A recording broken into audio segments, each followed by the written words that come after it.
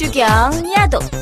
그럼 압력이 5 킬로그램 force per 미터 이승입니다. 이 소리는 5 킬로그램 force에 미터 이승이 얼마? 1입니다. 이런 소리지. 그럼 5 나누기 1 하면 얼마 나와? 5 쓰고 킬로그램 force per 미터 이승이니까 여기다가 미터 이승을 우리 뭐라 그러냐? 요걸 단위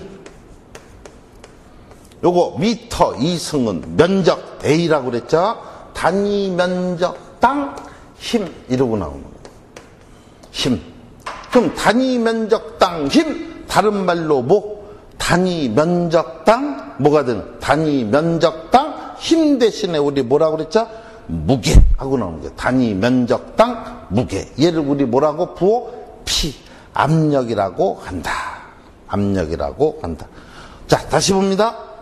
압력 P 대문자 쓰고 킬로그램 force per 미터 이승 그리고 미터 이승 단위 면적당 힘입니다. 하나 더 이 면적과 힘은 몇 도? 90도입니다. 90도. 각도 90도로 눌러줘야 돼요. 그래서 면적당 이 면적에 걸리는 힘의 각도 몇 도? 90도. 90도를 우리 다른 말로 뭐라고? 수직으로 누르는 거지. 수직. 그래서 면에 수직으로 누르는 힘을 우리 뭐라고? 압력이라고 합니다. 압력이라고 한다. 그럼 단위 뭐 나옵니까? 압력은 킬로그램 포스 퍼 미터 이승. 다른 말로 단위 면적당 뭐 힘. 이렇게 되는 거예요. 단위 면적당 힘이다. 그럼 우리는 단위 면적당 힘이 2m에서 누르는 게 크겠어요? 4m에서 누르는 게 크겠어요? 4m가 물이 많지? 이게 크겠지. 그럼 여기다가 면적 얼마 집어넣은 거야? 1m, 1m. 갖다 놓고 요 위에서 있는 무게를 다 잰 거야. 이게 뭐야? 압력이다. 여기도 1m, 1m 갖다 놓고 이 위에 있는 물을 다 잰 거야. 이걸 뭐라고? 압력이라고 한다고 그랬지. 자, 그래서 책으로 들어가서 3번. 압력의 정의. 압력은 힘, 나누기, 면적. 자, 이렇게 쓰지 말고 옆에다가 우리 단위를 먼저 쓰는 거야. 뭐, 킬로그램, force, per, 미터, 이승. 미터, 이승. 단위 면적당 힘. 면과 힘의 각도는 몇 도? 90도. 그걸 옆에다가 써주시면 되겠습니다. 저는 필기 시간은 이건 지금 인강이죠. 이게 여러분들이 기능사 하면서 직강입니다. 기능사 하시면서 직강입니다 하면 쓸 시간 처음에 천천히 다 들어야 돼. 왜? 여러분들 일하고 오신 분들 제가 보면은 일을 좀 험한 일 하신 분들이 가끔 계세요. 그러니까 뭐 나사 내고 이걸 나사를 요즘 미싱으로 내는데 뭐 한두 개 힘으로 하고 뭐 한번 손이 상당히 거칩니다. 그러니까 이 볼펜 잡으면 기분이 어때? 연필 볼펜 잡으면 기분이 이상하대요.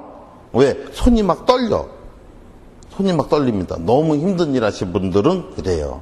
그럼 그런 분들이 이제 가스 쪽 따겠다 해가지고 자격증이 있어야 더 좋죠. 뭐가 좋아? 더 월급이 많아지는 거지. 또 기분 좋으면 재수 좋거나 그러면은 가스 공사에 기능직으로 들어갈 수 있습니다. 기능직 들어가는데 필수로 필요한 게 뭐 가스 기능사야. 그럼 그거 필요하다 하는 거지. 근데 그런 분들이 한참 일하다가 이제 들어가려고 이게 하다 보면 잘 안 외워져요.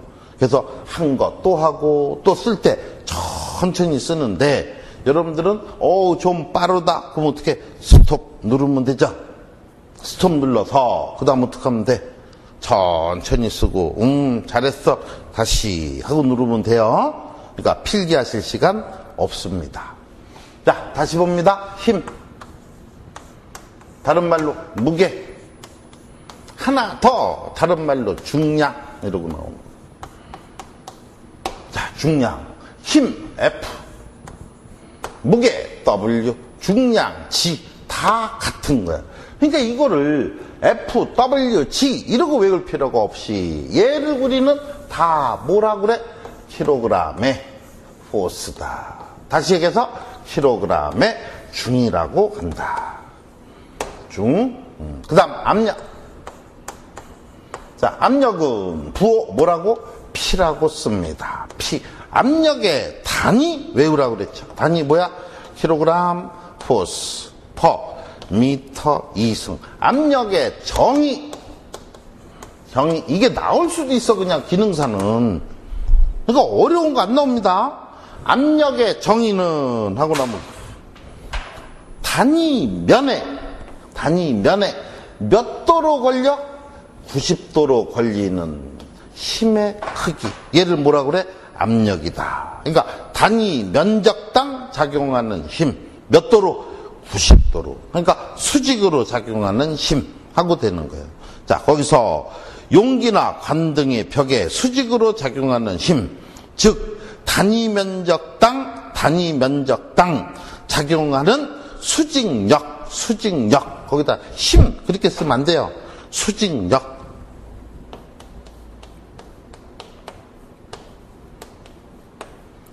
수직력, 수직으로 90도입니다. 수직력의 정도이다. 여기서 역은 뭐예요? 수직으로 걸리는 힘을 수직력의 정도 크기이다. 정도라는 건 크기를 얘기합니다. 그러니까 무대뽀를 외우면 안 되는 거야. 그래서 P는 A분의 F 뭐 이런 공식 외우는 게 아니고 옆에다 단위를 쓰세요. 킬로그램 퍼 센티미터 이승이다. 그는 미터 이승이다. 자, 압력의 단위 및 종류. 압력의 단위 및 종류. 요건 조금 있다가, 아, 요거 먼저 나갈까? 조금 있다 봅시다. 왜? 조금 요거는 어려워요. 그리고 요게 한 문제 나온다고 봅니다. 그럼 또 외우셔야 돼. 근데 지금 우리 외울 거 뭐? 압력만 외우면 돼요. 그 다음, 온도 보겠습니다. 온도. 다시 돌아갑니다. 왜?